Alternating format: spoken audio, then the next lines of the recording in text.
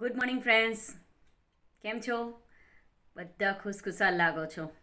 બરાબર ને? તો મિત્રો, આપણે બાળ નરેન્દ્રનો પાથ ભણતા હતા. બરાબર? આપણે બાળ નરેન્દ્ર પાથનામ ભાગ એક અને બેનો અભ્યાસ કર્યો. આપણે આ ભાગ એક અને બેમાં નરેન્દ્રની નિડરતા જોઈ. હનુમાનજીને મળવાની તેની જાગૃતતા જોઈ, બરાબર? હવે નરેન્દ્ર તેના મિત્રને એક નવી રમત શીખવવાનો છે. તમે શીખવા માંગો છો? તો એ શીખવા માટે આપણે આ પાઠને સમજવો પડશે. બરાબર ને? તો તમે બધા તૈયાર છો રમત શીખવા માટે? તો ચાલો, આ રમતને પણ શીખીએ અને આ પાઠને પણ આપણે સમજીએ. ઓકે? પાઠ તેર. બાળ નરેન્દ્ર, જેના લેખક છે. ડૉક્ટર કનૈયાલાલ ભટ્ટ. મિત્રો, આપણે આગળના ભાગમાં જોયું કે હનુમાનજીને મળવા માટે નરેન્દ્ર કેળાની વાડીમાં જઈને બેસે છે, પણ ત્યાં હનુમાનજી આવતા નથી. એટલે તેની માતા તેને સમજાવીને ફરીથી ઘરે લઈ જાય છે અને તેને અભિમન્યુની વાર્તા સંભળાવવાનું કહે છે. એટલે નરેન્દ્ર તેની માતા સાથે ઘરે પાછો ફરે છે. હવે આપણે આગળ જોઈશું. ફળિયામાં ત્રણ ચાર છોકરાઓ રમત રમે છે. થોડી વારે નરેન્દ્ર પ્રવેશે છે. નરેન્દ્ર કહે, ચાલો ભેરવો, આજે એક નવી રમત રમીએ. ભેરવો એટલે ભાઈઓ, અહીં મિત્રો. ત્રણ ચાર મિત્રો રમત રમે છે, ત્યાં જ નરેન્દ્ર પણ આવે છે. અને નરેન્દ્ર કહે છે કે આજે આપણે એક નવી રમત રમીએ. તો ચાલો આપણે જોઈએ કે કઈ નવી રમત રમવાના છે. તારક કહે, કઈ નવી રમત, નરેન્દ્ર? નરેન્દ્ર, ધ્યાનની રમત. આપણા ઋષિમુનિઓ નિયમિત ધ્યાનમાં બેસતા. દધીચી ધ્યાનમાં બેસવાથી શા લાભ થાય. તો નરેન્દ્ર કઈ રમતની વાત કરે છે? ધ્યાનની રમત. અને જે આપણા ઋષિમુનિઓ હતા ને, તે પણ તેઓ નિયમિત ધ્યાનમાં બેસતા. કેમ? કારણ કે ધ્યાનમાં બેસવાથી આપણને ઘણા બધા ફાયદાઓ થાય છે. અહીં તેમનો એક બીજો નવો મિત્ર, જે દધીજી દધીજી પૂછે છે કે ધ્યાનમાં બેસવાથી શા લાભ થાય છે? તો ચાલો મિત્રો, આપણે આગળ જોઈએ કે નરેન્દ્ર શું કહે છે ધ્યાનમાં બેસવાથી કયા કયા લાભો થાય છે તે બાબતમાં. બરાબર ને? નરેન્દ્ર કહે, ધ્યાન કરવાથી મનને શાંતિ મળે. શરીરનો થાક દૂર થઈ જાય અને આપણા જેવા બાળકોને તો ઘણો ફાયદો, એકાગ્રતા અને યાદશક્તિ પણ વધે. તો મિત્રો, જોયું ને? ધ્યાન કરવાથી કેટલા બધા ફાયદા થાય. યાદશક્તિ પણ વધે, એકાગ્રતા પણ વધે અને આપણો થાક પણ દૂર થઈ જાય. તો હવે તમે પણ થોડીવાર ધ્યાનમાં બેસજો, જેથી તમે વાંચો, એ બધું જ તમને યાદ રહી જાય. તારક કહી, નરેન્દ્ર, આ બધી તને કેવી રીતે ખબર પડી? દધીજી કહે, કેમ ન પડે? એના ઘેર દરરોજ સંતો મહંતો પધારે છે. એમની સંગતનું પરિણામ. તારક કહે, હે નરેન્દ્ર, તારા પિતા દત્તબાબુ પણ દરરોજ ધ્યાનમાં બેસે છે. એવું તારક પૂછે છે. દઢીજી કહે છે કે, નરેન્દ્રને તો ખબર હોય જ ને કેમ નરેન્દ્રને ખબર હોય? કારણ કે તેના ઘરે દરરોજ સંતો અને મહંતો, સાધુ સંતો તેમના ઘરે આવતા રહે છે. એટલે તેને આ વસ્તુનું જ્ઞાન હોય જ ને. અને એ લોકોની સંગતનું આ પરિણામ છે.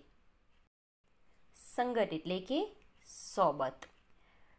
નરેન્દ્ર કહે, હા, તેઓ પણ દરરોજ સવારે અને સાંજે ધ્યાનમાં બેસે છે. દઢીજી કહે હા હા. ચાલો ચાલો. આપણે પણ ધ્યાનની રમત રમીએ.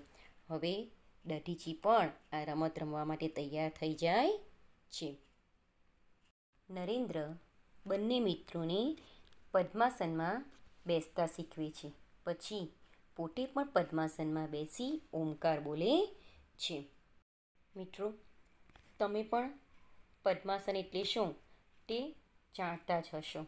બરાબર ને? પદ્માસન એટલે ડાબો પગ, જમણા સાથળ પર અને જમણો પગ, ડાબા સાથળ પર ચડાવીને તત્તાર બેસવું તે તેને પદ્માસન કહેવાય. નરેન્દ્ર પદ્માસનમાં બેસીને ઓમકાર બોલે છે અને બીજા મિત્રો પણ ઓમકાર બોલે છે. હવે તેઓ જ્યાં ઓમકાર કરતા હોય છે, ત્યાં જ એકાએક બૂમ સંભળાય છે. ભાગો ભાગો, સાપ આવ્યો, સાપ. દઢી તો તરત જ આંખ ખોલીને જુએ છે, ઓ બાપરે, સાપ આવ્યો, ભાગો. તારક પણ ઊભો થઈ જાય છે અને અરે નરેન્દ્ર, ભાગ જલ્દી, સાપ નીકળ્યો છે. ચાલ, જલ્દી દૂર જતા રહીએ. નરેન્દ્ર ધ્યાનમાં જ બેસી રહે છે. દઢીજી અને તારક નરેન્દ્રને જગાડે છે. પણ હજુ નરેન્દ્ર ધ્યાનમાં જ છે. બધા છોકરા ભાગી જાય છે. કોલાહલ શાંત થઈ જાય છે. ધીમે ધીમે મિત્રો પાછા નરેન્દ્ર પાસે આવે છે. સાપની જાણ થતાં તો બધા જ ગભરાઈ જાય. અહીં દઢીજી અને તારક પણ ગભરાઈ જાય છે.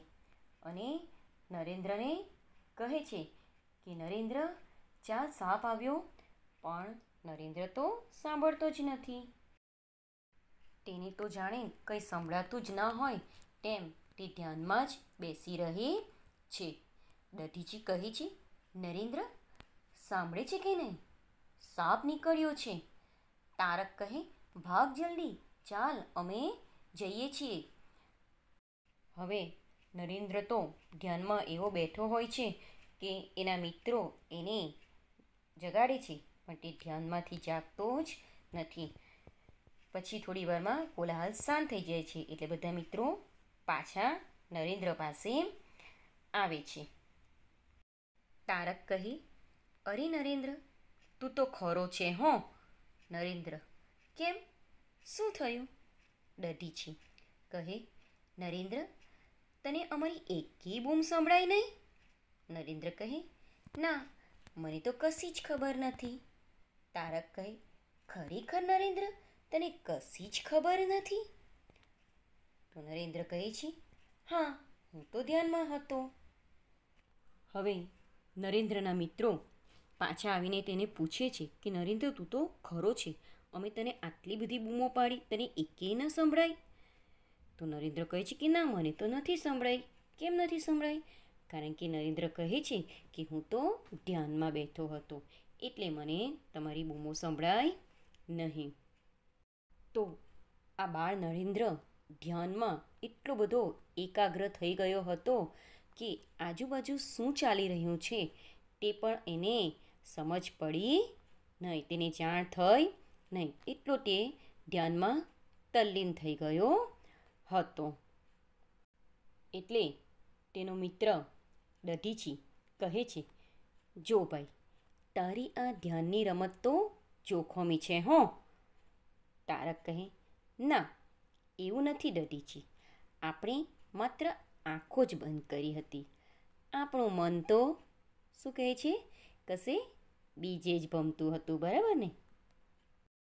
તો નરેન્દ્રનો મિત્રો, મિત્ર દઢીચી તો ધ્યાનની રમતને જોખમી કહે છે. પણ તારક સમજાવે છે દધીચીને કે એવું નથી. આપણે ધ્યાનમાં બેઠા ન હતા. આપણે માત્ર આંખ જ બંધ કરી હતી. અને આપણું મન તો કશે બીજે જ ભમતું હતું. જ્યારે નરેન્દ્ર ધ્યાનમાં બેઠો હતો, તે એકાગ્ર થઈ ગયો હતો. હવે દધીજી, તેના મિત્ર તારકને કહે છે કે, મને તો લાગે છે કે આપણો આ નરેન્દ્ર ભવિષ્યમાં જરૂર મહાન વ્યક્તિ બનશે. શું કહે છે દધીજી તારકને કે, આ નરેન્દ્ર ભવિષ્યમાં બહુ મોટો મહાન વ્યક્તિ બનશે. નરેન્દ્ર બીજી તરફ સ્મિત કરે છે અને એની માતા ત્યાં પ્રવેશે છે. આ સાંભળીને નરેન્દ્ર હસે છે અને ત્યારે જ તેની માતા ત્યાં આવી પહોંચે છે. માતા નરેન્દ્ર, ઓ બેટા નરેન્દ્ર. નરેન્દ્ર ઊભો થઈને, હા માતા. માતા કહે છે, ચાલ ઘેર. આજે આપણે ઘેર ઠાકોર પધારવાના છે. તારે એમને એકાદ ભજન સંભળાવવાનું છે. નરેન્દ્ર કહે, હા માતા, આવજો મિત્રો. તો નરેન્દ્રની માતા આવે છે અને એને કહે છે કે આપણા ઘરે ઠાકુર પધારવાના છે. આ ઠાકુર એટલે કોણ? ખબર છે? આ ઠાકુર એ સ્વામી રામકૃષ્ણ પરમહંસ, જે નરેન્દ્રના ગુરુ છે. તો તે પધારવાના છે અને તેમને નરેન્દ્રએ એકાદ સરસ મજાનું ભજન સંભળાવવાનું છે. એટલે તે પોતાના પાછા ઘરે ફરે છે અને મિત્રને આવજો કરે છે. અને પછી બધા જાય છે. આ રીતે અહીં નાટક પૂર્ણ થાય છે. મિત્રો તમને ખબર છે? આ નરેન્દ્રના મિત્ર કહેતા હતા કે નરેન્દ્ર ભવિષ્યમાં એક મહાન વ્યક્તિ બનશે અને ખરેખર એમના મિત્રોની વાત સાચી પડી. તમને ખબર છે કે નરેન્દ્ર મોટો થઈને શું બન્યો? કોઈ મને જણાવશે કે આ નરેન્દ્રને અત્યારે કયા નામથી ઓળખાય છે?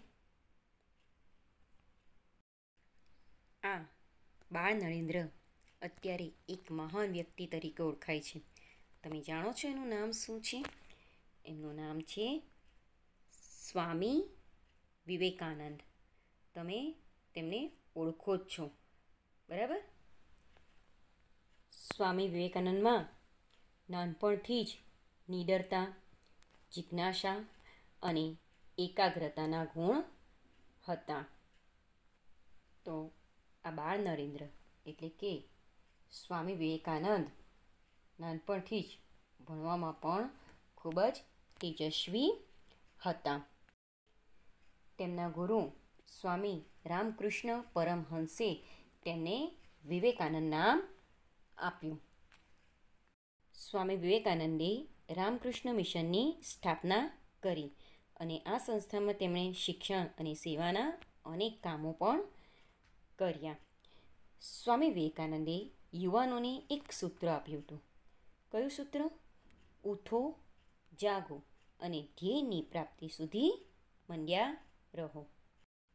એટલે કે તમને તમારા કાર્યમાં જ્યાં સુધી સફળતા ન મળે, ત્યાં સુધી તેની પાછળ પડી રહો, મંડ્યા રહો. આ સ્વામી વિવેકાનંદનું ખૂબ જ નાની ઉંમરે, એટલે કે ઓગણચાલીસ વર્ષની ઉંમરે અવસાન થયું હતું. લોકો આજે પણ તેમને યાદ કરે છે. વિદ્યાર્થી મિત્રો, કેવો લાગ્યો આ પાઠ? બાળ નરેન્દ્ર, મજા આવી ને? જુઓ ને, નરેન્દ્રમાં કેટલા બધા ગુણ હતા. જાગૃતતાનો, એકાગ્રતાનો, બરાબર ને? અને તમને એ પણ સમજાઈ ગયું હશે કે આજે બાળ નરેન્દ્ર મોટા થઈને એક મહાન વ્યક્તિ બન્યા. એ મહાન વ્યક્તિનું નામ શું છે? હા, સ્વામી વિવેકાનંદ. બરાબર ને? તમે બધા એમને ખૂબ સારી રીતે જાણતા જ હશો. ઓકે? અને આ પાઠ દ્વારા પણ તમે ને સમજાઈ ગયું હશે. ઓકે? તો ચાલો, ફરી એક નવા પાઠ સાથે મળીશું. ત્યાં સુધી આવજો.